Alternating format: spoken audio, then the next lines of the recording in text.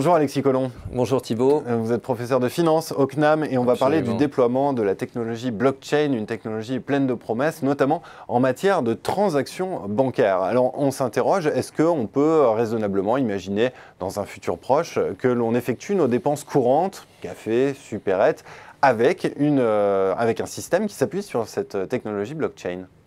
Alors, juste deux petites précisions. D'abord, il y a différentes blockchains, il n'y en a pas qu'une. On va probablement parler euh, surtout de celle, la première, euh, celle du Bitcoin. Mhm. Et puis euh, la deuxième précision, c'est que importante, c'est que c'est encore une technologie qui n'est pas encore tout à fait mature. Il y a plein de dérivations qui sont en train de se mettre en place. Et donc mon propos aura forcément une connotation un peu prospectiviste. Alors sur cette question d'utiliser euh, par exemple euh, la blockchain du Bitcoin ou le système, euh, le réseau Bitcoin pour les transactions courantes, vous pouvez le faire aujourd'hui, tout dépend des commerçants que vous trouvez. Il y en a environ, on m'avait indiqué, moi, 12 000 de par le monde aujourd'hui. Donc vous voyez que c'est à la fois un chiffre important et en même temps très mineur à l'échelle globale.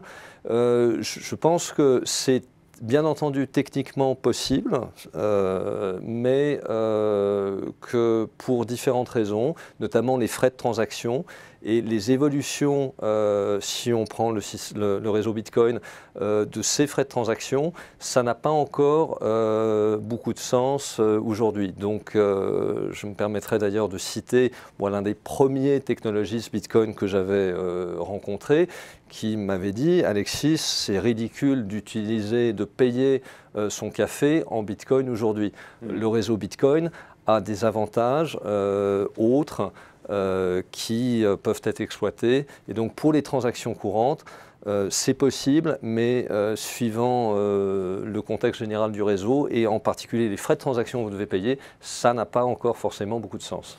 Alors justement, si l'on envisage les prochaines années où cette technologie sera peut-être arrivée à maturité, est-ce que les commerçants peuvent y trouver leur compte in fine? Alors, moi, je crois que tout dépend des évolutions qu'il va y avoir et notamment, si vous voulez, des commissions, des frais de transaction. Donc euh, là, c'est un peu difficile à dire. Est-ce que ça sera euh, le réseau Bitcoin? Est-ce que ça en sera d'autres? Est-ce que ça sera d'autres crypto-monnaies? Euh, Des dérivations ou des systèmes hybrides qui vont être mis en place? Il y a beaucoup d'initiatives à ce jour. je crois que ça dépendra donc bien entendu du, pour les transactions courantes hein, du, débit du réseau et, et, donc des commissions qui devront être payées par, les, par les commerçants. Euh, je crois qu'il y a, par exemple, pour vous donner euh, une, euh, il y, a, différentes tendances, mais pour vous en évoquer une, il y aurait par exemple la possibilité d'avoir ce qu'on appelle des sidechains ou des, je dirais, des réseaux de paiement locaux euh, qui, euh, sur lesquels on pourra faire tout un ensemble de transactions courantes.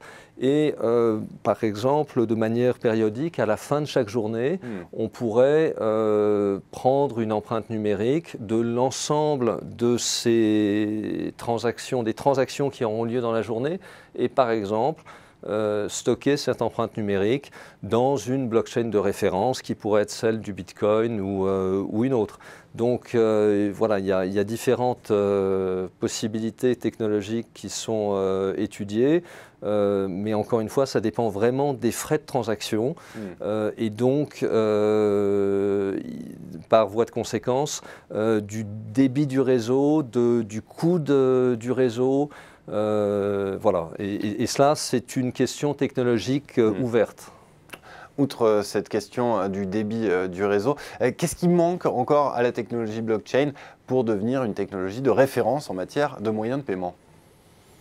Alors, je, crois qu'il y a tout un ensemble de choses, mais pour les paiements les plus courants, c'est encore une fois, je l'ai évoqué, je crois, le, le, débit, le fait que Bien sûr. voilà, beaucoup de gens vont préférer.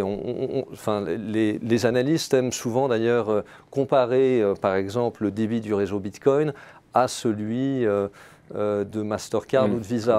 Mais c'est, il, faut, enfin, il faut comparer euh, les pommes à des pommes et pas à des oranges. Ça dépend vraiment des applications qu'on veut en faire. Donc je crois que pour utiliser cette technologie pour, pour des, des, paiements courants, il faut en fait avoir le bon écosystème, le bon système de transaction qui va faire que si par exemple vous payez 2 euros votre café, les frais de transaction seront au, tout au plus peut-être voilà, de quelques mmh. centimes.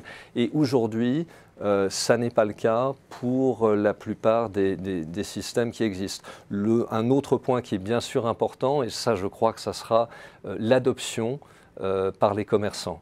Mmh. Et comme vous le savez, les commerçants qui vont utiliser un système de paiement, ils sont très attentifs aux frais de transaction et à ce qu'ils perçoivent comme la dîme qu'ils doivent payer si je puis dire, euh, euh, à l'opérateur du système. Et là encore, il y a différentes initiatives en cours et je crois que ça va être très intéressant de voir comment les choses vont évoluer dans les cinq prochaines années. Raison de plus donc pour suivre de près à, l'évolution et au déploiement. Absolument, c'est absolument de cette technologie blockchain. Voilà, c'est passionnant ce qui se passe aujourd'hui et je, voilà, je crois que J'espère peut-être que nous pourrons en reparler dans quelques années et voir ce qui finalement euh, s'est établi comme étant euh, euh, la norme ou les normes et les références dans ce domaine. Absolument. Merci beaucoup Alexis Colomb pour Merci cet éclairage. Merci Thibault, je vous en prie.